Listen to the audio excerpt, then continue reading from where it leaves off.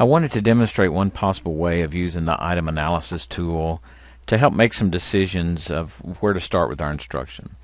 So we've given the practice test and the item analysis tool you see here uh, is showing the uh, data based on two classes of English 2 students.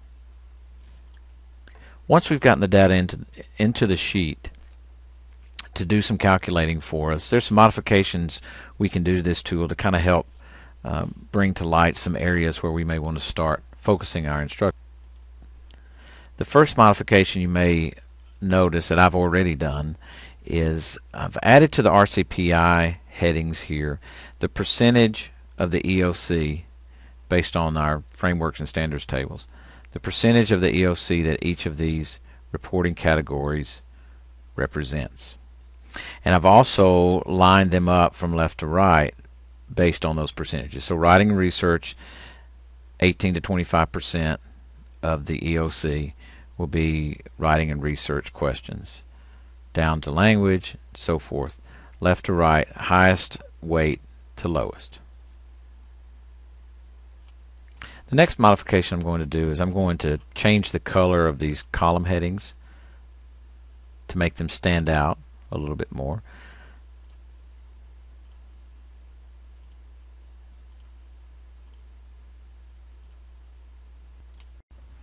What I'm also going to come up here and do is I'm going to change the color of this title cell here just to keep it from blending in so much with the other blue.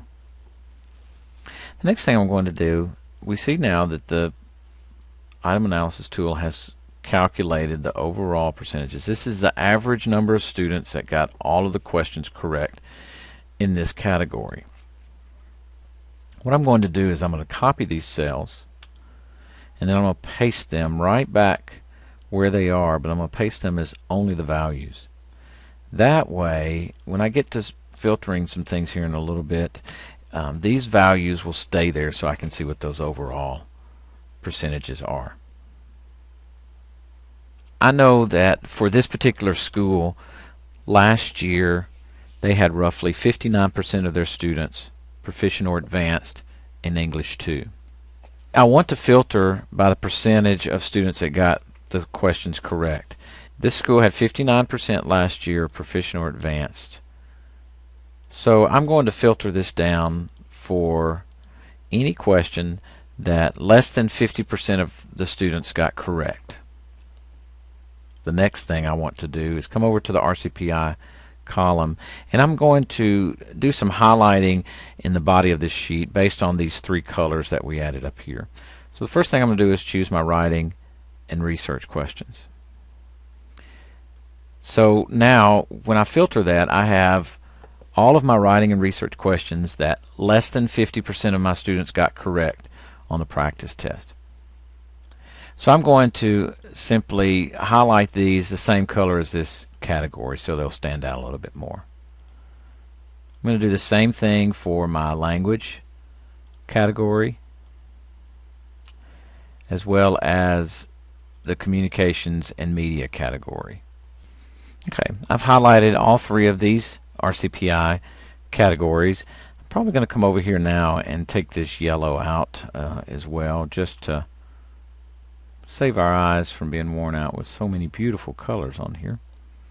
So now on the screen I see the questions that less than half of my students got correct on the practice test. And I also know that writing and research is the heaviest category on the EOC, so I have colored those red. That's where I'm going to start first. Language is the next. They're yellow. And communication media is the next. They're blue. The reason I think it's important to go through these um, practices of highlighting and weighting around the um, frameworks is because if we simply look at just the percentages that um, our students that got all of these questions correct in that category, we might immediately want to go to informational text. That's the lowest. Only 21.4% of the students got all those questions correct.